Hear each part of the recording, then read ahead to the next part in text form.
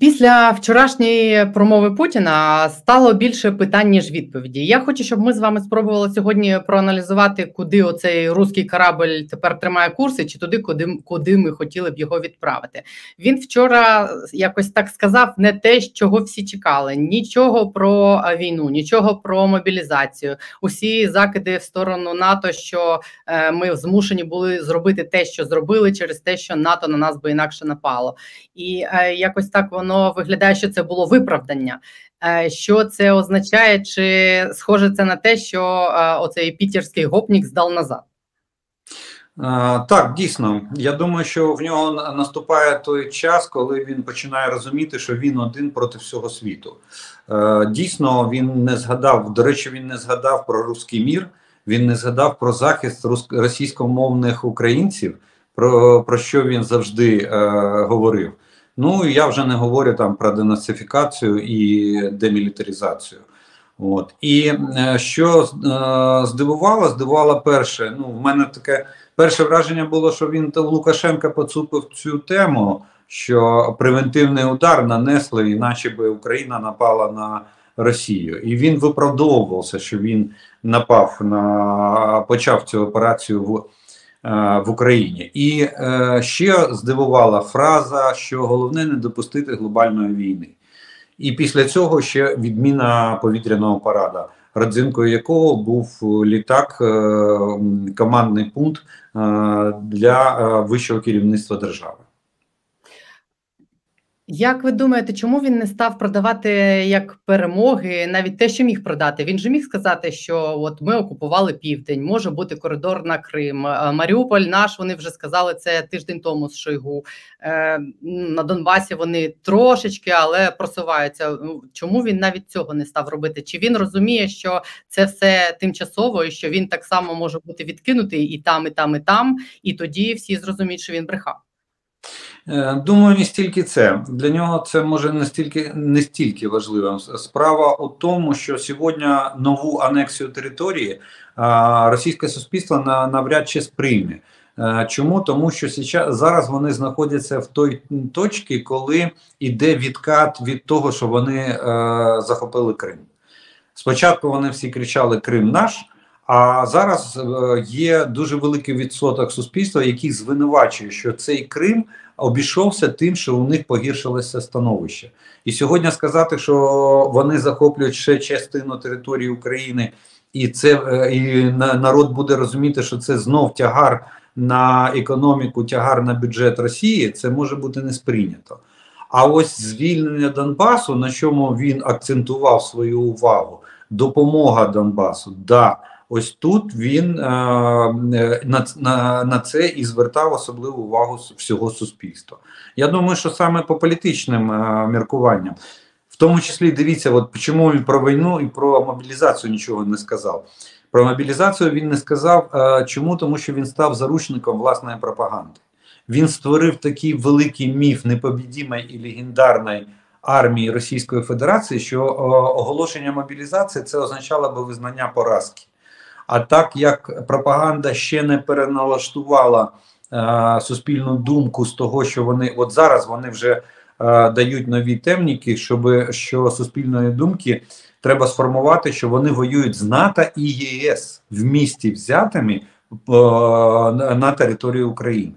І е, якщо вони програють, то це буде достойно достойний програш, тому що ну це ж НАТО це ж саме сильне об'єднання воєнне, а ще ЄС ЄС їм допомагає. От ось таку вони зараз. От я читав сьогодні звіт нашої розвідки, що вони зараз міняють парадігму а, своїй пропагандистській машині. Тому він не може вийти. От, ну як би це звучало, діди воювали, можемо повторити. Завтра всі військомат будемо повторювати. Розумієте, це соціальний вибух у російському суспільстві. Ну і те ж саме про війну. Якщо він оголошує війну, ну треба підґрунтя. Що він може? Що армія не може перемогти в спеціальній операції, що треба оголошувати війну. А якщо це війна з НАТО і ЄС, так це ж світова війна тоді. Це для пересічного громадянина. А ми тут же е, підемо в ООН і будемо вимагати визнати Росію країною агресором, якщо війна офіційно оголошена, і тоді всіх всі, хто має стосунки, повинні будуть. А ми таку резолюцію отримуємо. Я думаю, вона набере більше двох третин голосів, і тоді всі будуть змушені розірвати дипломатичні відносини з Росією. Так е, говорить устав, а статут ООН.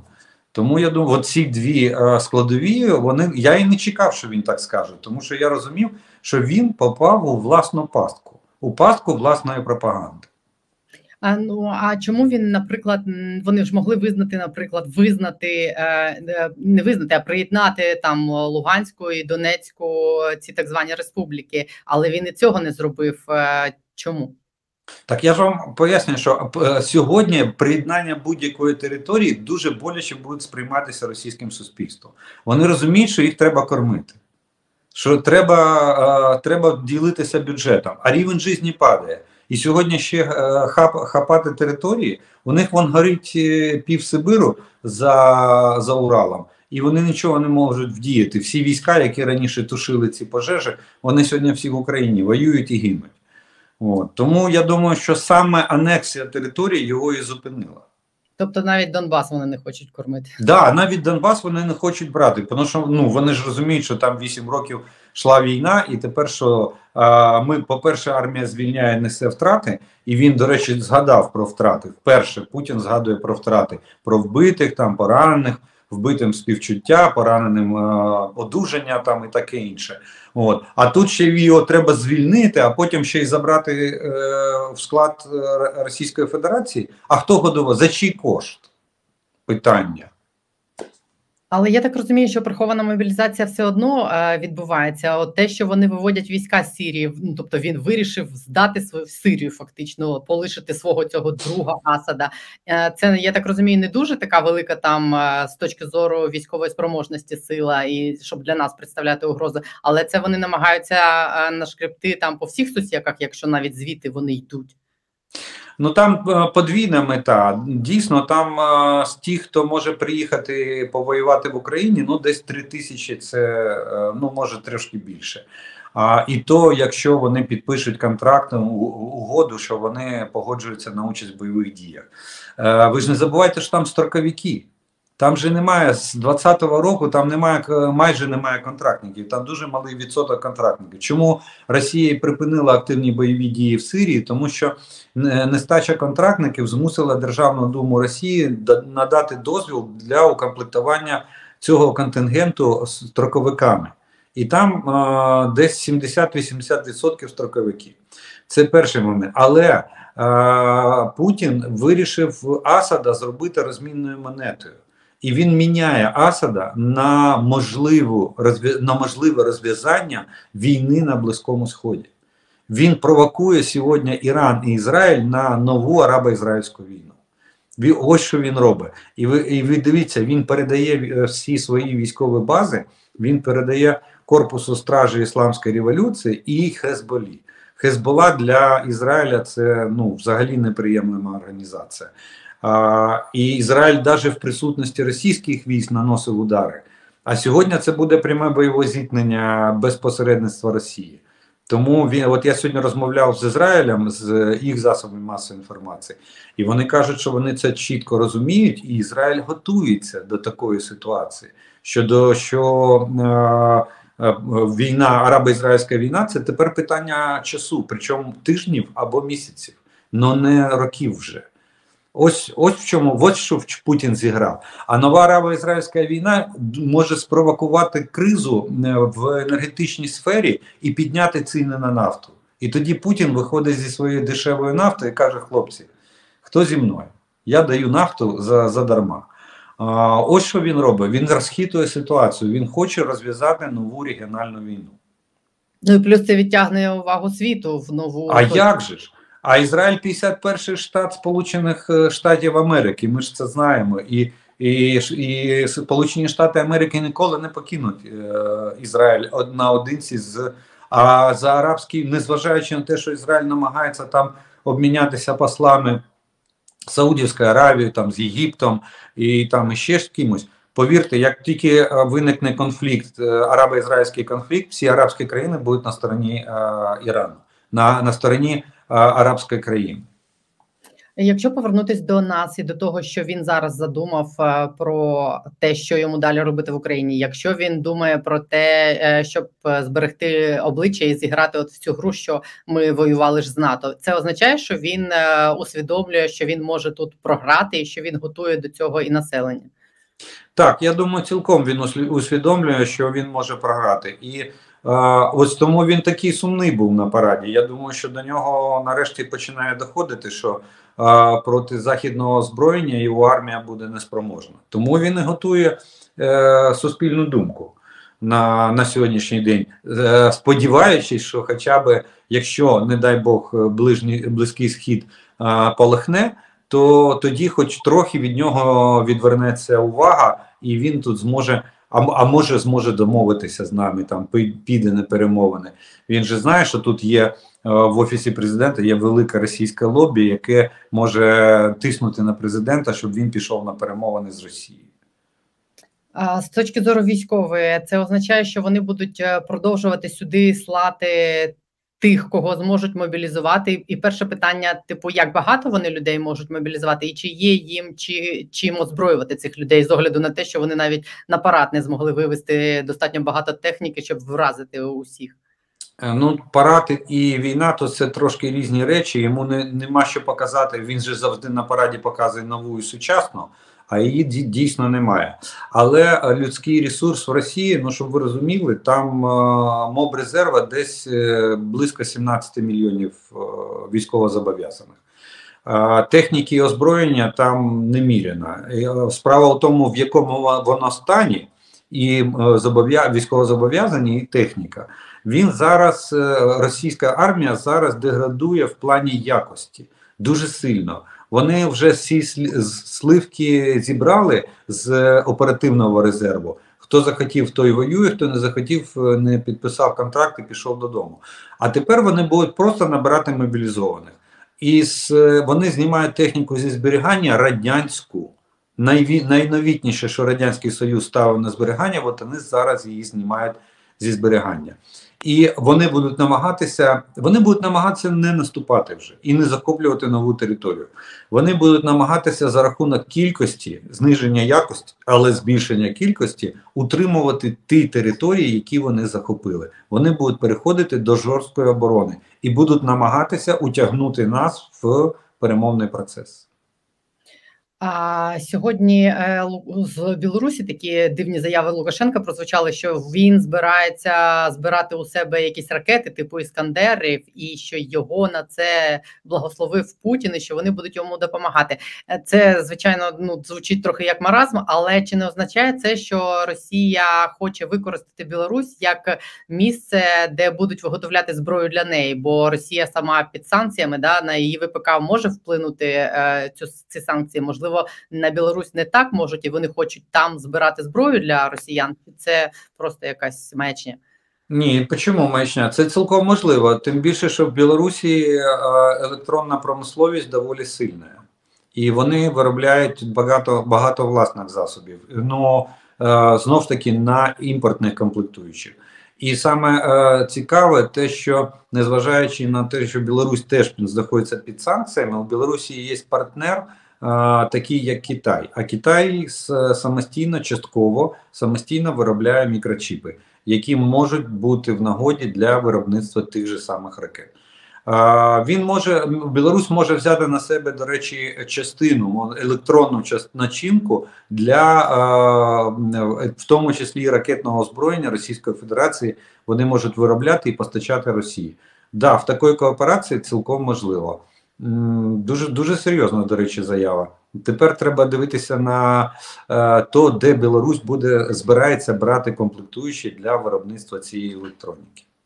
А це ну в принципі це ж довго зробити ракети в Білорусі. Ну це питання, я не знаю, може там півроку, року. Це означає, що вони так надовго розраховують? Ні, ні, там зовсім не так. Дивіться, е, російське виробництво дає один калібр в місяць, одну ракету в місяць може випускати на сьогоднішній день.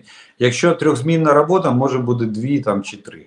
Але а, справа в тому, що виробництво електронної начинки, якщо є вся документація, Росія скоріш, скоріш всього передасть Китаю цю документацію, і вони знайдуть комплектуючі, то це буде просто питання часу.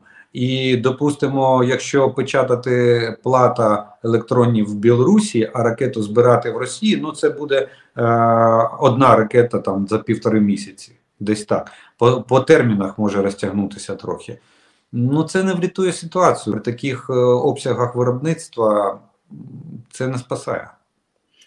І Сьогодні з Білорусі ще була одна заява. Сьогодні їх військове керівництво скерувало до кордону сили спецоперації, бо в генштабі хочуть реагувати, як вони це я цитую зараз на загрозу з боку збройних сил України вздовж кордону. Це може бути підготовкою до чогось, чи є зараз у них сили для того, щоб спробувати повторити їх отой невдалий план А. Е, я думаю, що це просто демонстрація і е, намірів, але не реальна загроза. Чому тому, що чим далі йде війна, тим менше е, менше підтримка серед населення Білорусі і серед військових в збройних силах Білорусі. Вони сьогодні вони тоді не хотіли воювати, а сьогодні тим більше вони не хочуть воювати. Але Лукашенка треба, ну як вам сказати, треба показати якусь е, якийсь індустріальний грохот треба відтворити для Путіна, щоб показати, що він да, от він готується, війська перевіряє, навчає, але, але ще не готовий. І е, він же ж захищає спину російським військам, як він казав на космодромі Восточний, що Білорусь ніколи не допустить, щоб Росію вдарили в спину і буде цю спину захищати. Ось він і демонструє свої наміри, але при цьому він намагається максимально дистанцюватися від цієї війни. А саме е, показує, ну виробля, е, роблячи такі висловлювання, як Е, наприклад, я не в курсі тої операції, взагалі я не знаю, там по плану вона йде чи не по плану. Він дистанцює, дистанцюється е, такими заявами, максимально дистанцюється. Ну але якщо він почне виготовляти для росіян зброю, то теоретично е, захід мав Ну ми просто да, ми можемо просто попросити, щоб Європейський Союз, допустимо, і Сполучені Штати просто включили в ті ж самі санкції, які ми запроваджуємо пакетами проти Російської Федерації, точніше, вони запроваджують з наш, з, з нашої, е, за нашою просьбою. Просто вони додали туди ще Республіку Білорусь, і Білорусь стане на одну сходинку разом з Росією в плані санкціонному е, санкціонних пакетів, які е, видає сьогодні Європейський Союз і, і наші західні партнери. Давайте трошки про фронт. Поки Путін оце таку зайняв риторику помірковану, да, скажімо так, е, на фронті все одно намагаються росіяни просуватися і далі. Де зараз найгарячіші точки, де їм вдається щось, а де нам вдалося їх е, там відбити, зупинити і відтіснити? Ну, у нас фактично залишився один напрямок, де ще Росія намагається атакувати наші позиції. Це напрямок від Ізюму в бік е, Северодонецька і Краматорська. Оце єдиний. Ну там навіть більше можна сказати, що це від е, Ізюму на Северодонецьк і від Дон. Е, е, і від ем, Донецька на на Северодонецьк. От вони намагаються зімкнути кільце навколо лівого флангу нашої зони операції об'єднаних сил. Поки що у них нічого не ми повністю е, купіруємо і відбиваємо атаки. Е, да, ми потрошки вони нас витісняють з позицій, тому що вони повністю розносять вщент позиції, і там нема що вже обороняти. От як попасно ми відійшли, але на новий рубіж. І їм знов таки придеться штурмувати вже новий рубіж одразу за попасний. От е, но скільки на наскільки їх ще хватить, дуже важко сказати, тому що я так розумію, що військове начальство Російської Федерації взагалі не обмежується тако, такою думкою про втрати, особливо в особовому серед особового складу.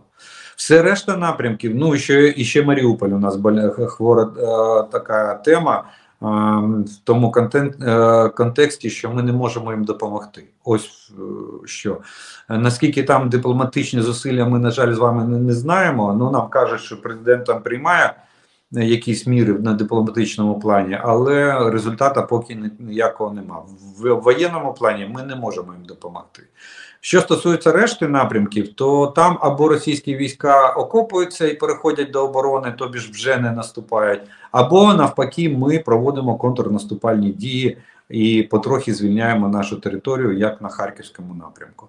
Тому о, я би сказав, що ситуація о, залишається важкою, але на в основному тільки на двох о, напрямках. А врешті ми о, контролюємо, чітко контролюємо ситуацію на, на, на решті напрямків.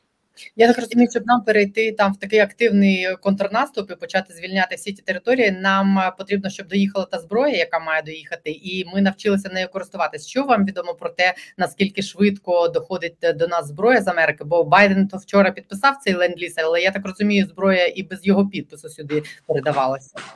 Справа, да, ви абсолютно праві, що е, постачання зброї і підписання документа воно не впливає одне на одне. Документ просто регулює юридичну сторону цього ленд-лізу і гарантії для країн-постачальників, які будуть приймати участь в тому ж самому ленд-лізі.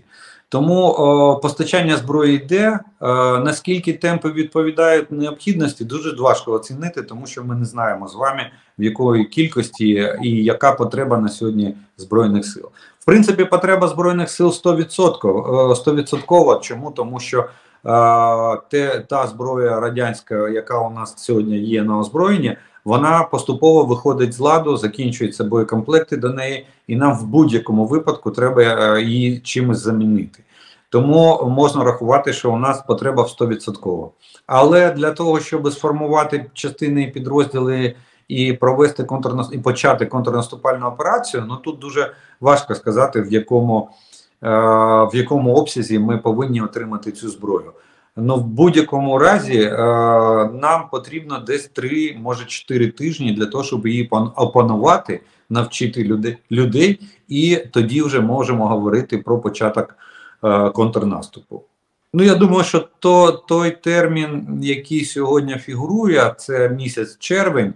Ну, цілком можливо, що може стати тим місяцем, коли ми можемо розп... будемо готові розпочати наступальну операцію по звільненню наших територій. Як ви оціните взагалі шанси того, що у нас настільки успішно будуть іти справи на фронті, що ми не будемо ніяких взагалі перемовин з Росією вести? Так а не, нема сенсу вести перемовини. Сьогодні Путін Путін неприхильний поки що, і він вимагає від нас. Е, як сказав останній раз Лавров, ми не вимагаємо здатися, ми вимагаємо припинити опір. А це, в принципі, одне і те ж, тільки іншими словами. Тому я не віжу, не вижу е, на сьогоднішній день, я не бачу підстав для початку перемовин.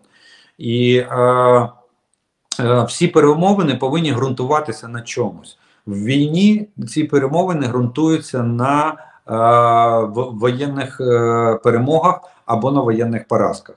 І та сторона, яка потребує перемовин, та і є ініціатором, і вона завжди в слабкішій позиції. Тому ми на сьогоднішній день ну взагалі не повинні згадувати про а, питання перемовин. Треба а, треба наносити воєнну поразку Росії до тих пір, поки Росія не запросить перемовин. А потім вже йти е, можливо.